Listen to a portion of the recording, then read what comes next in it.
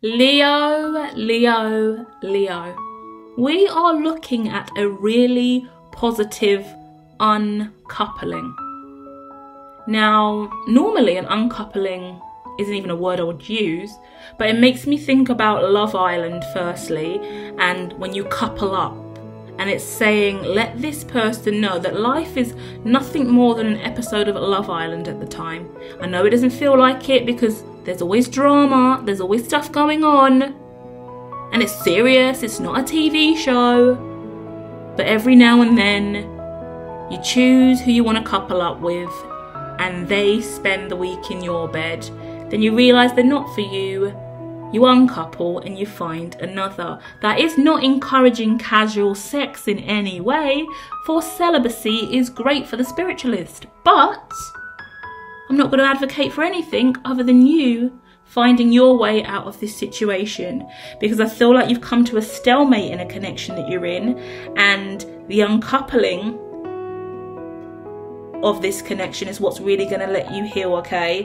So you could have been seeing someone for a while now, two weeks, dating someone for two weeks, three weeks, coming up to four weeks, but not more than four weeks. So less than a month you've been seeing this person, and already you know it's not it. That's okay. That's how it works. We get out there, we date, okay? Just think of it as an episode of Love Island. That's what the guide said to me when I first came in, so we'll hold that energy. Yeah, you are grounded, you are stable, you are strong. Don't worry too much about this. If this person isn't really for you and you didn't enjoy it and you don't want to keep going down this road because you could already tell that this is not quite it, and guess what? You've learned the lesson, you've learned the cycle, you've been through the experience. Next, yeah?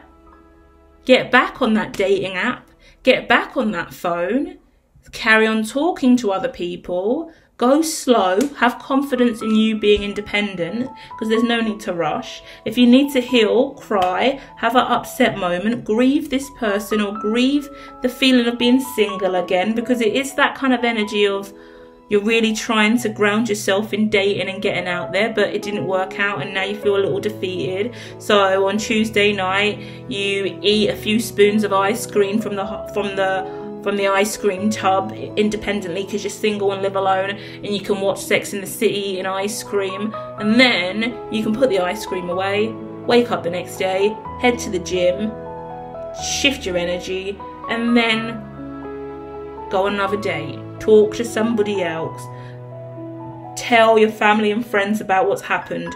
Continue to be committed and grounded to you. Focus on your career. Focus on what that person didn't have for you and what you want to see more of in the next person. Continue to manifest someone who knows how to give you all of what you want. How do you know what you want if you're not out there exploring and learning? You have to learn about yourself I say that knowing I don't date a lot, to be honest.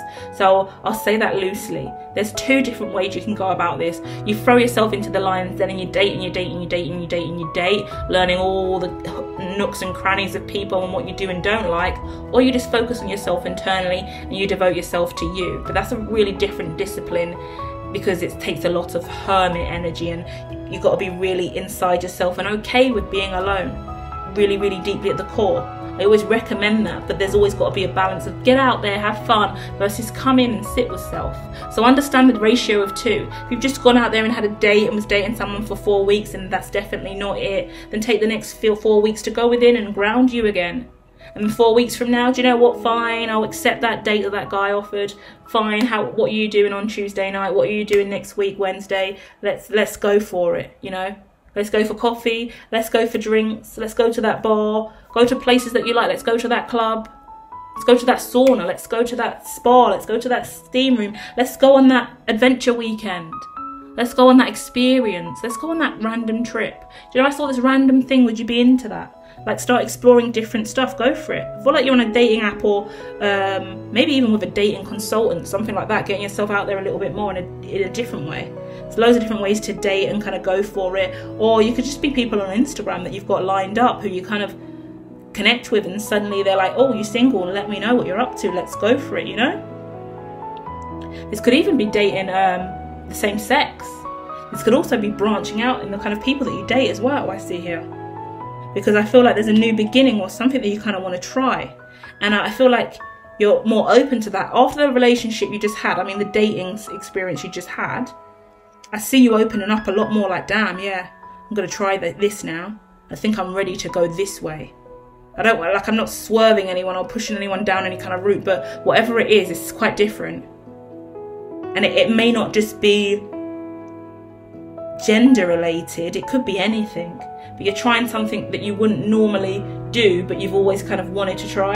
And that's nice for you because that's potentially the way you're meant to be going. Because I think whatever the habit or kind of we get we go for a type, don't we? I think your type's changing.